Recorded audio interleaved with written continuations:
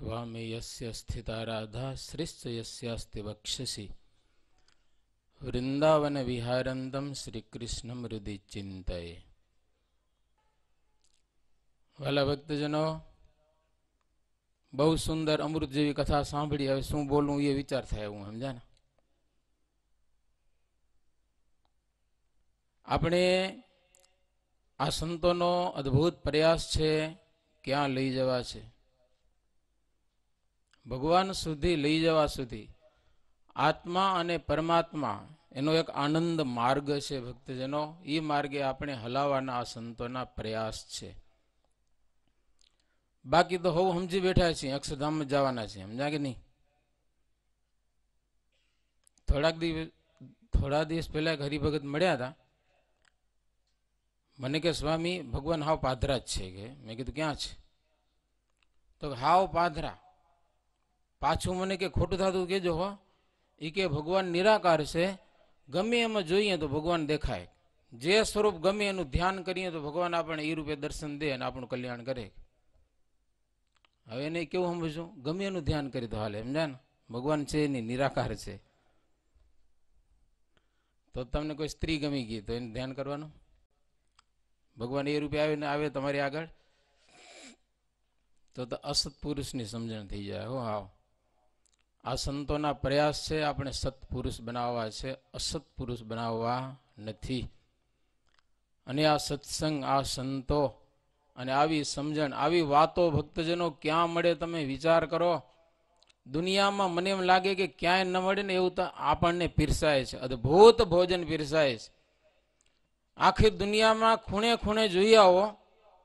પણ આવું એક દિવ્ય ભોજન આપણને મળશે નહીં ભક્તજનો હોય એવું અલૌકિક ભોજન એક અને પીરસાય છે.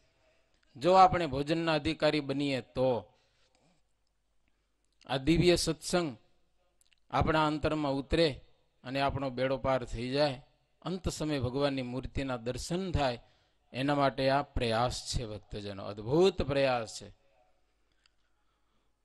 ભગવાન શ્રીહરિની અદ્ભુત કરુણા છે આપણા ઉપર. આયવશરે રે કરુણા, દયાળુ બહુ દયા કરી રે.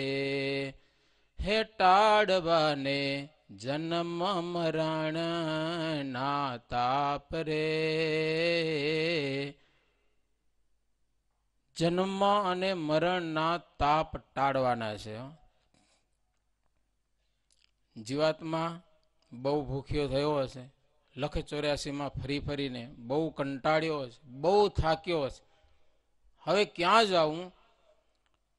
તો લખ ચોર્યાસીમાં ફરી ફરી જીવાતમાં બહુ કંટાળી અને હરિભગતના ઘરે જન્મ લીધો છે. લ્યો. કાંઈક પુણ્ય હશે એટલે આ જગ્યાએ અવસર મળ્યો હશે. એમાં આટલા બધા વિશાળ દેશમાંથી આટલા આપણે અહીંયા આવી ગયા છે. કેટલા ભાગ્યશાળી હશું ભક્તજનો. ત્યારે આ અલભ્ય લાભ મળેલો હશે. અને ભગવાનની કરુણા વરસે છે આપણા ઉપર. એક દિવ્ય સત્સંગ છે. અંત સમય પ્રભુ તેડવા આવે છે. જેના અંતરમાં ભગવાન પ્રત્યે દિવ્ય ભાવ, આ સંતો પ્રત્યે અને ભક્તો પ્રત્યે દિવ્ય ભાવ પ્રગટે, એને ભગવાન અંત સમયે તેડવા આવે. અનેકને આવ્યા રે અંત સમય તેડવા રે. હે સાથે લઈ સંત જનનો સમાજ રે. અનેકને. અરે આ સત્સંગની શું વાતો કરીએ? આ સત્સંગમાં બહેનો લાડુબા કે જીવબા કે રાજબાઈ એ કેટલી નિષ્ઠા હશે મહારાજમાં? આપણા સંતો એવું લખ્યું છે કે ઉમા અને રમા એના ચરણમાં પડે, હો. રમા એટલે લક્ષ્મીજી કહેવાય, ઉમા એટલે પાર્વતી એ બહેનોના ચરણમાં પડે. ભગવાનની ભક્તિ જેના હૃદયમાં ભગવાન બેઠા છે, એનું કેટલું મહત્વ છે. જબરજસ્ત વાતો છે ભક્તજનો, આ સત્સંગની દિવ્ય વાતો છે. આપણા અંતરમાંથી માઇક ભાવ ટાળી અને દિવ્ય ભાવ પ્રગટ કરવાનો છે. વાત આટલી જ છે, બસ.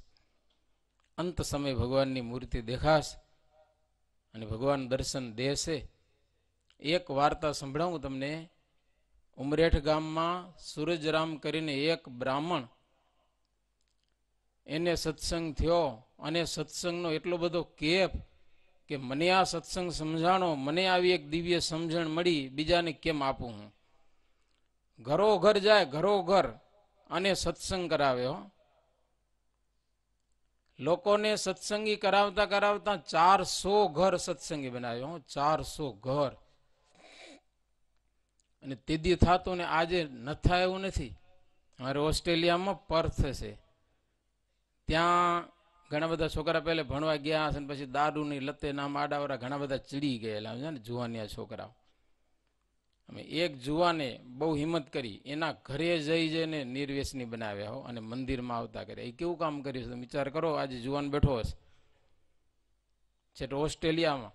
હવે દારૂડિયાના ઘરમાં કેમ જાવું તમે વિચાર કરો? એના ઘરમાં જઈ એને સમજાવી, નિર્વેશની બનાવી અને અમુક જણાને એવા પાકા સત્સંગી બનાવ્યા હજી આપણે એની હરોળમાં ન ઊભી શકીએ હો. એવા પાકા સત્સંગી છે.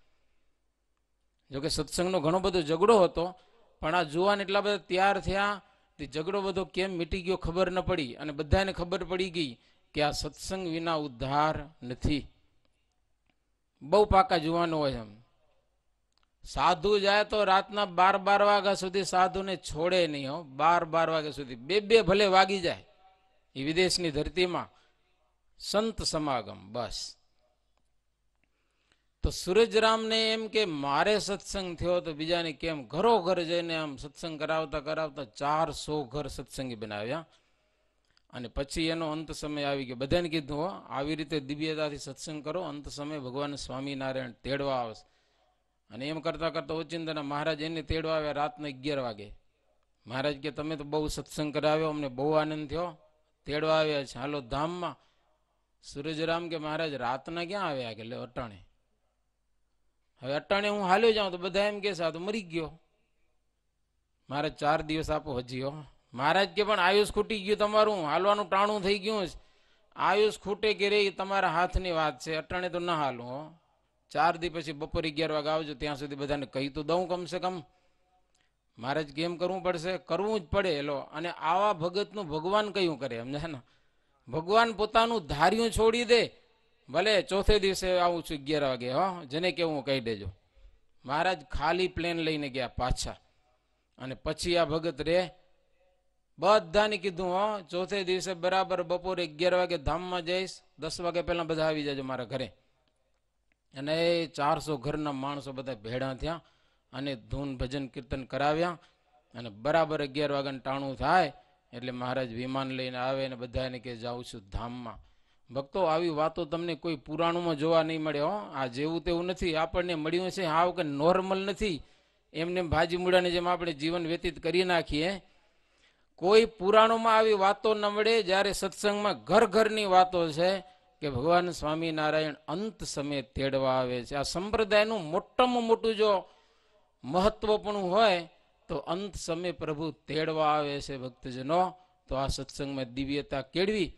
અને આવી દિવ્ય વાતો આપણા અંતરમાં ઉતારી અંતે પ્રભુના ધામના અધિકારી બની જઈએ એવી ભગવાનના ચરણમાં પ્રાર્થના કરીને વિરમું છું સહજાનંદ સ્વામી મહારાજની જય.